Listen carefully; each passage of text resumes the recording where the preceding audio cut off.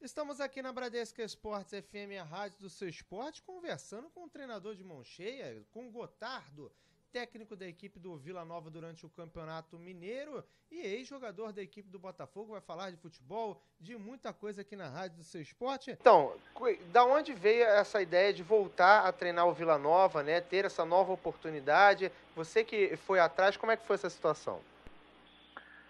É, eu já, no futebol, né, já me sinto bem à vontade pela, pela experiência já exercida como atleta, como capitão em vários clubes é, fazer parte de grandes elencos e também grandes conquistas, né? Então, você tem vontade de trabalhar como pode ser um gestor, um, treinador, né? Mas eu me identifico muito como treinador, né? É a área que mais toca o meu coração. E já trabalhei no Vila em 2011, também foi uma campanha muito boa, como está sendo essa, essa é um pouco melhor, porque é, só fiz apenas três jogos em casa, né? Ou seja, o América ele fez sete jogos em casa, né? Venceu cinco e fez três jogos fora e perdeu as três. Né? Eu só fiz três jogos no sapão. Então, uma campanha muito boa. O Vila que iniciou o campeonato já com pé no rebaixamento, para dizer bem a verdade, né? E agora está brigando para entrar na fase decisiva, né? Precisa fazer o último jogo bem, vencer, se possível vencer de goleada, porque não depende 100% mais da gente, né? Mas eu acredito muito nesse elenco, assim, né? Está se superando. E no mercado eu vejo grandes opções de trabalho também, né? Basta uh, os gestores entenderem que houve uma evolução grande no futebol, né? De, não só dentro do campo, e fora do campo também, que é importante toda a estrutura. E a, a maioria maciça dos clubes humildes não tem estrutura, é difícil de trabalhar, muito difícil. Agora é interessante que a campanha ela se desenha muito boa, né? Muita gente não levava crédito no Vila Nova, mas você conseguiu montar um time coeso, que dá trabalho, um time é, que ao mesmo tempo tem uma tática muito boa. É, como é que foi esse tipo de processo, né? Para dar a sua cara ao time. Queria que você falasse um pouco como é que funcionou para você aí no Vila. Eu cheguei dia 8 de janeiro. Praticamente os jogadores estavam aí escolhidos já por outros dois treinadores Teve um clube pequeno, em prazo de alguns meses, trocou dois treinadores, né? E eu tinha que conhecer a maior parte deles, né? Porque, lógico, eu conheço, o Fábio Júnior, Maxine, Gabriel Zagueiro, Maurício Zagueiro, né? Alguns, assim, mas não todos, né? E tem aquela fase difícil, né? De avaliação e, de, e, e, e dispensa também de alguns jogadores que não tem o porquê estar tá usando, né? Que não encaixa no modelo de jogo, na ideia de jogo, né? E isso também não é tão simples assim, né? Você está, às vezes, trocando de profissional, todo mundo quer trabalhar. E na minha chegada aqui, eu tenho hoje, vou dizer com exatidão, mas são 72 treinamentos que até então fiz, né? É uma pré-temporada, né, com os jogos e todos, intervalos e folga, né, descanso, 72 treinamentos, né, muito bem equilibrado, com volume de trabalho, carga de trabalho muito bem elaborado, procurando ter o que fazer de melhor tem dentro da, da tec tecnologia nem tanto, porque o clube não tem nada, né? Mas que a, fisiologia pode nos orientar, né? Na medida do possível e a experiência, né? O feeling, né? O empirismo também ajuda muito nesses momentos assim. Tentar ter uma melhor gestão possível, transparente. Essa gestão transparente, às vezes, ela pode até ser um pouco mais rude, mas é dessa forma que eu trabalho, né? Mas a lealdade sempre existiu. E esses jogadores estão jogando fino da bola. Meu esquema é um esquema bem definido de, de posse de bola, de, de envolver o adversário. É, jogo com apenas um volante sendo especialista né, na marcação, mas todos marcam. Né? Eu costumo dizer que meu primeiro zagueiro é o Fábio Júnior, que é o atacante, né? E, e, e, um, e, o primeiro atacante é o meu goleiro, porque numa reposição de bola ele poderá fazer uma assistência de gol, né? Então eles estão com esse com essa linha de pensamento, todo mundo participar do jogo defensivo, ofensivo, fazendo as transições defesa-ataque, ataque-defesa, né? O pressing de bola também, na, na, hora que perde a bola tem que estar disposto a recuperar a posse de bola, né? É lógico que não tem estrutura de trabalho aqui, né? Gostaria de ter melhores condições de trabalho, né? melhores condições de, de, de fisioterapia, né, departamento médico, não tenho, né? Mas isso aí foi tudo superado, enfim. Eu não posso é, tirar o brilho da nossa campanha, mesmo que não classifique, porque só eu sei o quanto está sendo difícil, né? A gente chegar a, a essa posição. Agora, é interessante que é, você tem algumas peças experientes no elenco que estão se portando de uma qualidade é, como as novas, né? Estão fazendo o time jogar. Qual a importância desses jogadores, né? Eles podem ser né, os olhos seus dentro de campo? Eu tô, eu dou muita liberdade para o atleta é, se impor na partida. Existem alguns conceitos, né, alguns posicionamentos que eu procuro trabalhar firme com eles e, mas não tira a liberdade, né, a criatividade, nada disso. Né? Mas tem que ter um, uma, algumas regrinhas, né? porque não pode ser um, um, time aglomerado, é um time compactado. Né? Não pode ser um time desmembrado, né? é um time que tem que estar com amplitude, mas ao mesmo tempo, para gerar espaço no adversário, mas ao mesmo tempo ciente do seu posicionamento. Né? E tem, lógico, jogadores experientes no estudo, né? cada um tem sua personalidade posso dizer que tem 30 cérebros, 30 personalidades diferentes, mas posso dizer também que é um coração só. Agora, é, o feeling que você tem como um ex-jogador, de tudo que você passou, de uma carreira vitoriosa, com grandes camisas, é, ele está te ajudando né, nessa questão como treinador a, agora, até para saber lidar com os jogadores, a gente sabe que é, é, muito difícil lidar com 30 cabeças pensando ao mesmo tempo, né? E o fato de você já ter estado do outro lado ajuda nesse tipo de ponto. Os ex-jogadores conseguem esse tipo de coisa e passar para os atletas esse tipo de questão? Olha, eu não tenho nenhum problema de relacionamento de gestão com jogadores, não. Eu, a minha, por meu passado, isso é um passado é, aberto, né, com muita claridade e, minhas ideias muito expostas a todo momento, né, eu me sinto muito à vontade de, falar, de dizer que o, o meu passado ele contribui bastante com o meu presente. Né? O, o empirismo o, ele é fundamental para determinadas posições, situações ou soluções que eu venho tomar. É fundamental. Não descarto nada da teoria de conhecimento, né? nada de inovações de trabalho, não descarto, isso também é muito bom mas dizer aquele feeling, a forma de falar com o jogador, aquilo de enxergar uma coisa diferente durante a partida, durante os treinamentos, o, a reação né, emocional do atleta, como é que eu vou ter uma leitura rápida e certa dele também, né? Quando o atleta está é, receoso, inseguro, ou quando ele se faz de vítima. Tem situações interessantes, sabe, que a, o passado me, me sustenta para ter boas decisões. Né? Obviamente que eu tenho uma comissão técnica também que ajuda, né? Tem mais quatro, cinco integrantes com treinador de goleiro, né? Todos eles participando ali, né? E é impossível um treinador ver tudo, né? Não tem departamento de análise de desempenho, isso faz falta nos dias de hoje, né? Você estudar o adversário, tentar melhorar o desempenho de cada um também do seu próprio time, né? Isso faz muita falta. O Cruzeiro tem cinco integrantes. O Fluminense deve ter uns três, quatro. O Flamengo ter um departamento montado também. O Flamengo tem uma, uma câmara hiperbárica. Isso aqui no Vila é acho que não tem, é, não tem no hospital, com certeza absoluta, né? Enfim, mas é tudo motivo de esperação. Eu estou me preparando me sinto preparado, mas as pessoas acham que estou me preparando para assumir um grande clube. Mas eu já me sinto preparado já, modéstia à parte, já há algum tempo.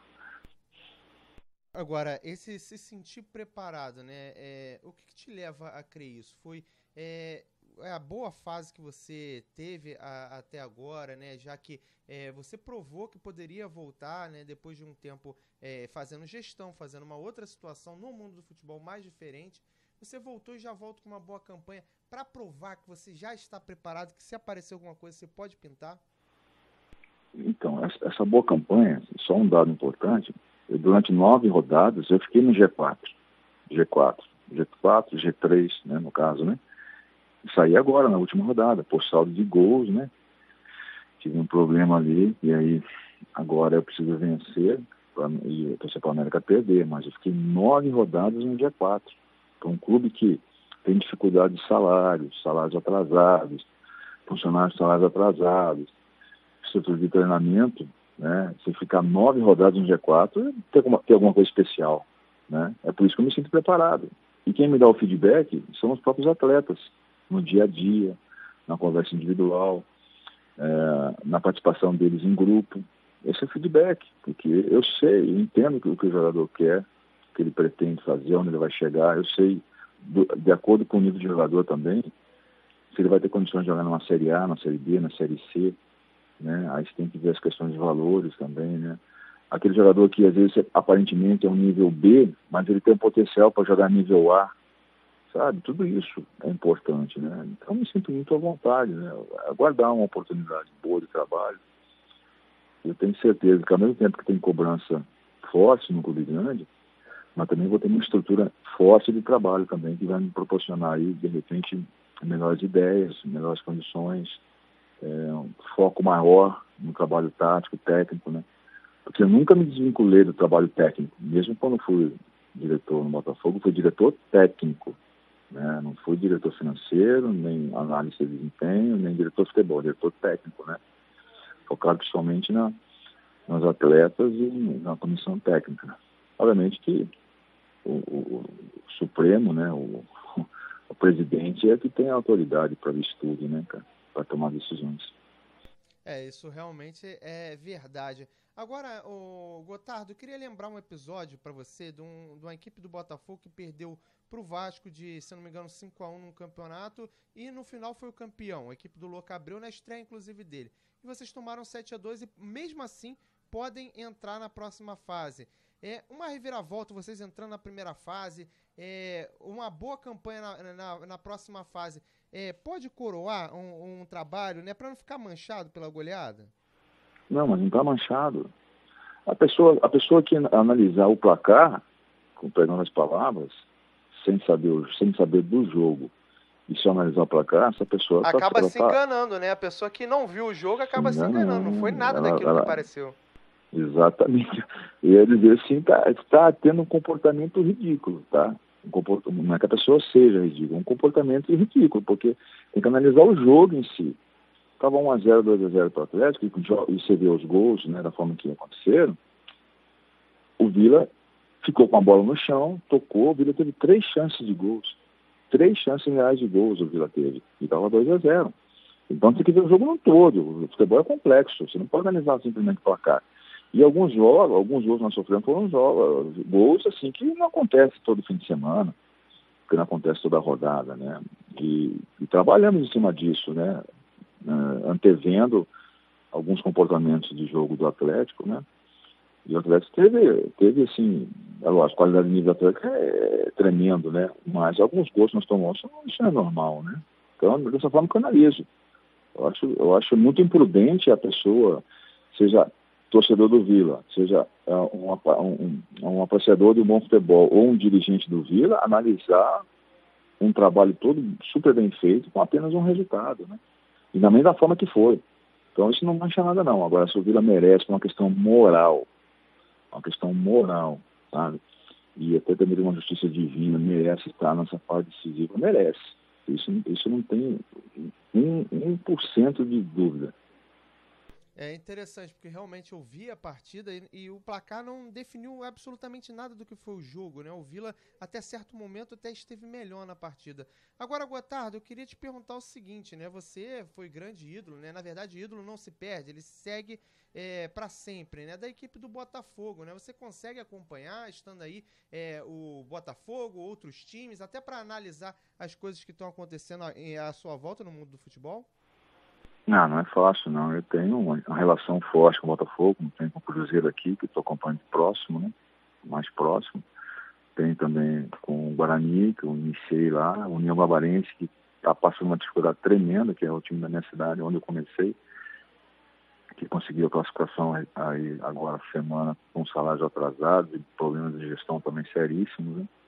Eu vou acompanhando na medida possível, como o Flamengo também clubes que estão estruturados, não estão bem embasados aí, mas eu acompanho é, com mais suavidade, né? Porque eu tenho muita coisa para cuidar aqui no Vila, né? e não é pouco não, coisa dentro e fora do campo, que não gostaria de, de ter, é, às vezes, nenhum tipo de decisão fora do campo, mas é, se faz necessário justamente pela carência que tem estrutura da instituição, né? Que está um pouco aquém. Agora, a, analisando é, de fora, né, você como um observador do futebol, é, para a gente finalizar aqui, né, eu queria fazer duas perguntinhas sobre o Botafogo, né, que foi a sua grande equipe. É, o time está surpreendendo de certa forma, né? Muita gente não, não dava nada para esse time do Botafogo e é um time que está no G4 da segunda fase já, é, até certo tempo se manteve invicto, assim como o Vasco continua invicto, né? E isso pode mostrar que é, às vezes as coisas não são o que parecem, né? Parece uma coisa, chega é, no campo, o elenco mostra algo totalmente diferente, né, o, o Gotardo? o dia a dia mostra totalmente diferente, né? É difícil alguém opinar sobre um clube se não está vivendo o dia a dia, ou pelo menos um dia mais importante da semana, não só o jogo, né? Tem que estar o dia a dia ali acompanhando, a imprensa que acompanha, né? Alguém que esteja observando alguns treinos e os jogos também, né? A concorrência principalmente, né? Mas eu posso falar do Ricardo, Ricardo Gomes é um cara excelente, tenho grande admiração por ele. Foi meu treinador também, tem muito conhecimento e a gestão dele é fantástica. Eu, eu tenho certeza de que de quando eu trabalhei com ele para hoje, ele está bem melhor, ele está bem capacitado, né? Aliás, todos, né? É obrigado a evoluir, né? Está sempre aprendendo. Aquele que acha que já sabe tudo, esse já nada sabe. Então é melhor estar tá reciclando, observando, tendo humildade para ouvir os colegas, os companheiros da comissão. Mas nesse sentido, assim, o Botafogo vai ainda levar algum tempo para se recuperar da gestão anterior. Isso vai, isso eu posso estar englobando a categoria de base também. Mas tem história forte, tem torcedores apaixonados e em breve o Botafogo vai estar bem estruturado outra vez. Agora, para fechar, o que, que você espera desse elenco? Dá para chegar num título carioca de repente? Dá para é, fazer um brasileiro consistente ao contrário do que todos imaginam? O que, que você espera? Ah, difícil opinar, né? Eu não vejo assim, eu vejo alguns jogos, assim, pedaços de jogos, né? Eu vejo alguns gols. É difícil opinar. Eu vejo que tem jogadores inexperientes, no, novos, que estão é, estão sendo trabalhados justamente para tá, fazer um melhor brasileiro. Né? Você tem não tem uma receita, não tem um padrão. Esse time está pronto, esse time já vai fazer sucesso, esse time já está é, em fase de lapidação, não tem uma receita. Você tem um trabalho duro que tem que ser feito todo dia. O atleta tem que se cuidar também, não basta treinar forte, treinar certo, e o atleta ter uma noitada aí, uma balada diferente, né, que desestruture tudo aquilo que ele fez. Então depende de diversos fatores. Né? É, na complexidade do, do futebol, você, você tem hoje um grupo, né? Você tem um grupo que transforma no jogo em equipe. Né? E um clube que não tem estrutura fora do campo, ele vai ficando para trás, ficando mais difícil, vai perdendo espaço, vai reduzindo seu número de torcedores, que jamais é, na história agora, nessa história recente, né, será impossível você criar um clube grande. Quem é grande é grande. Quem é pequeno é pequeno. Agora o grande corre risco de se apequenar, né? O grande corre risco de se tornar um clube médio. Então tem muita atenção principalmente na gestão, com seus torcedores, que é o maior patrimônio do clube é a torcida. O maior patrimônio do clube é a torcida. Pô. Então tem que trabalhar em prol dela mesmo, né? Entender que às vezes ela passa do ponto nas cobranças, mas ao mesmo tempo é o maior patrimônio do clube. Aquela que dá retorno para a instituição. Por isso tem que saber administrar, contratar certo, administrar certo, pagar certo. Não pagar muito, pagar pouco, mas paga em dia. Ah, tem N situações interessantes para que o clube seja fortalecido e, vá aumentando no seu patrimônio, né? E, e é um trabalho de muito suor de dedicação. Por isso que eu sou a favor de profissionais na, na diretoria, remunerados, que possam dedicar mesmo 15, 18 horas até diariamente ao clube, né? Porque requer muito esforço, muito sacrifício às vezes. E o profissionalismo é importante também, né, Gotardo? Quanto mais profissional, melhor a gestão, né? É, depende, né? Tem profissional teimoso também, né? Que acha que a verdade absoluta está com ele. Tem profissional depende. cabeça dura, Gotardo? Tudo quanto é lado, pô. Na sua, na sua área tem também, pô. Tudo quanto é lado tem, pô. Mas é, é que não pode ter profissional arrogante, soberbo, que isso não vai trazer benefício para a instituição, para o clube, né? Tem que ter o cara aberto para novas ideias, buscando novos conceitos né, ter uma boa gerência em todos os departamentos, né? Isso, isso é fora do campo dentro do campo. E o próprio atleta é um gestor também de carreira. Ninguém, sou totalmente contra o atleta querer jogar através de uma entrevista. Tem que jogar através do que ele faz no gramado. Pô. Entrevista não convoca ninguém, entrevista não põe ninguém para jogar. Né? Salva as exceções aí, vou falar o Careca, Romário, Maradona, esses caras aí acima da média, pô. Caras, assim, às vezes nem treinavam tanto, mas tão bem, mas no, no jogo eles eram fantásticos, hein? Era totalmente contrário do que se vê hoje. Agora, o Gotardo, queria agradecer demais a sua participação aqui na Bradesca Esportes FM, a Rádio Seu Esporte. Parabenizar pelo bom campeonato mineiro que você tem feito aí. Uma campanha que mostra que o Vila Nova voltou ao cenário, mostra um Vila Nova forte. E queria desejar aí que possam se abrir portas e que você possa seguir essa sua carreira de treinador. Estive te acompanhando quando você estava aqui no Botafogo, até como setorista durante algum período folguista, e vi que seu trabalho era sempre bom na questão de gestão e queria te parabenizar por isso e pelo campeonato aí. Então, como eu digo, né, você depende de muitas pessoas para ter um sucesso, ter êxito no trabalho, né? E, e esse filho é importante mesmo para que possa evoluir, cada um evoluir dentro das suas condições. Eu já, já trabalhei no Vila em 2011 tinha 42 jogadores. E não tem esse de treinamento aqui. De 42 jogadores, apenas dois jogadores ficaram insatisfeitos. Mas por quê? Porque eram jogadores da bebida, da vida boa, e não tem como. Se é profissional, é profissional. Não dá para conciliar a vida boa, os prazeres da vida com a carreira profissional. Exagero da vida boa, né? A mesma coisa acontece nos clubes da Série A, né? nos clubes da Série B, da Série C. Você tem que ter equilíbrio. Hora do lazer é do lazer, hora do trabalho é do trabalho. Tem que entender isso. Hora da família é da família. Né? E às vezes requer meses para incutir isso na mente do atleta, né? Mas, enfim, esse é o caminho. Obrigado aí pela participação, fico muito grato aí pelo convite.